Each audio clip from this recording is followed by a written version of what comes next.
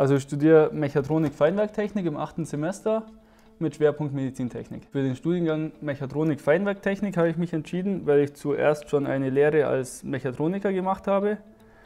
Und für Medizintechnik speziell, weil ich schon immer, ich bin Sportler und, und gerne Sportgerätetechnik auch studiert hätte.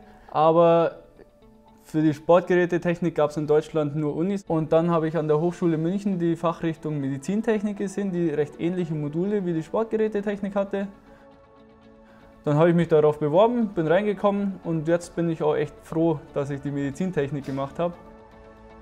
Also die Medizintechnik an sich ist ein riesig breites Feld. Das kann alles Mögliche in der Klinik sein, Intensivstation, OP. Aber für mich persönlich finde ich die medizinische Messtechnik super interessant. Also alles, wo man Biosignale oder Vitalsignale von Menschen messen kann. Man hat richtig das Gefühl, als würde man den Menschen helfen mit der Arbeit, die man hier tut. Also mein Praxissemester habe ich genau hier im Labor der Hochschule München gemacht, weil wir einen sehr jungen und sehr engagierten Professor haben und der viele interessante Forschungsprojekte hat und mich das einfach interessiert hat, was, was in der Forschung so passiert.